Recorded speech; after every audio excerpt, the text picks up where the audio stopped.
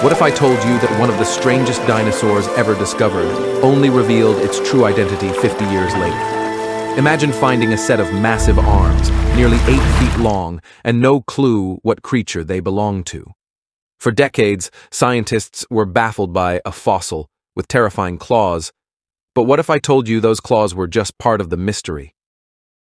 How could these massive hands belong to a dinosaur that wasn't even close to what we imagined?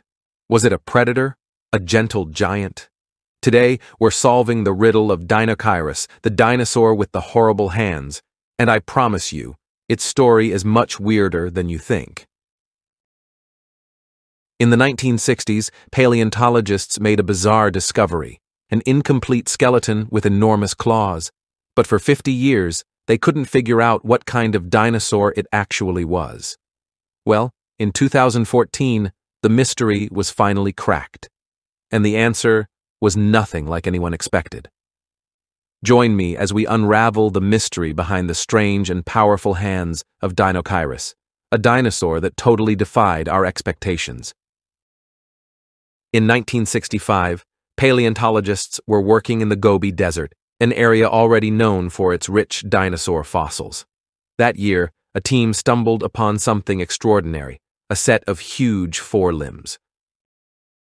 These arms were massive, around 2.4 meters long, equipped with huge claws, clearly designed for something important. But there was a major problem. There was no body, no skull, no legs, just these enormous arms. Naturally, scientists assumed it belonged to a carnivorous dinosaur, maybe a terrifying, powerful predator. But without the rest of the body, it was impossible to know what it actually looked like. The find became a famous mystery in paleontology. For decades, Deinocheirus's identity remained a puzzle. The initial discovery raised many questions. How could a dinosaur with such powerful arms be part of a larger, unknown creature? And why hadn't they found any more bones? The fossil was on display at the Mongolian Academy of Sciences. But it wasn't until 2014 that the mystery began to unravel. That year, new fossils of Deinocheirus were discovered, including a full skeleton, with legs, a skull, and more. The discovery completely redefined what scientists thought about Deinocheirus. It wasn't the fearsome predator everyone had assumed. In fact, it was a massive herbivore, much more gentle than its claws suggested. This new discovery opened up a whole new chapter in dinosaur research, showing that paleontology still had mysteries to solve. When scientists got their hands on a full skeleton of Deinocheirus, they were shocked. First of all, it wasn't the vicious carnivore they'd imagined. Instead, it was a huge herbivore, likely feeding on plants, not other dinosaurs. Standing at about 11 meters long and weighing around 6 tons, Deinocheirus was a giant. But the most striking feature was, of course, its arms, long, muscular, with three massive claws on each hand. They were clearly designed for something, but scientists weren't entirely sure what at first. The head of Deinocheirus was relatively small compared to its body, with a broad snout and teeth better suited for eating plants than for hunting. Its neck was long and flexible, allowing it to reach high branches for food, similar to modern herbivores. Its legs were built for walking on two feet, but it was also likely capable of using all four for support due to its size. And while its tail was long and stiff, it was likely used for balance when walking upright. But again, the real question remained. What were those arms for? Now let's talk about the most puzzling part those giant arms.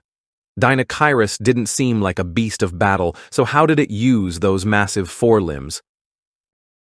Scientists believe that those huge arms might have been used for grabbing and pulling vegetation, especially the thicker plants that other herbivores might have found hard to reach.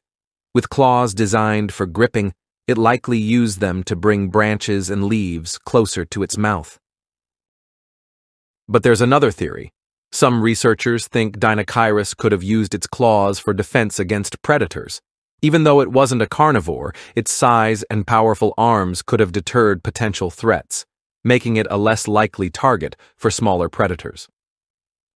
Another interesting theory is that the arms might have been used for social interactions, like impressing other members of its species during mating season or showing dominance. Finally, we can't ignore the idea that these arms might have been useful in digging for underground food like tubers, adding another layer of versatility to this already peculiar dinosaur. As for how it lived, it's likely Deinocheirus lived in herds, like other large herbivores. Its size made it harder for predators to attack, but the safety of numbers would have still been an advantage. The name Deinocheirus translates to terrible hands, a fitting label for such enormous and imposing arms. But now we know that those hands weren't about terror, they were about survival. The claws weren't for attacking, but for foraging, defending, and even possibly socializing. The more scientists study Deinocheirus, the clearer it becomes that the most unusual features of this dinosaur were designed for specific purposes, helping it thrive in a world filled with predators and competition. Its arms, though strange, were just one part of its unique survival strategy. Still, Deinocheirus serves as a reminder of just how little we know about ancient life. Fossils, even those as incredible as this one, can hide mysteries that take decades to solve. And in some cases, they reveal creatures that are more bizarre and more fascinating than we could have imagined. From a strange discovery of massive arms to the revelation that Deinocheirus wasn't the terrifying predator we once thought, this dinosaur reminds us how much we still don't know about life on Earth millions of years ago. If you found this mystery as fascinating as I did, be sure to hit like and subscribe for more cool dinosaur stories. See you next time.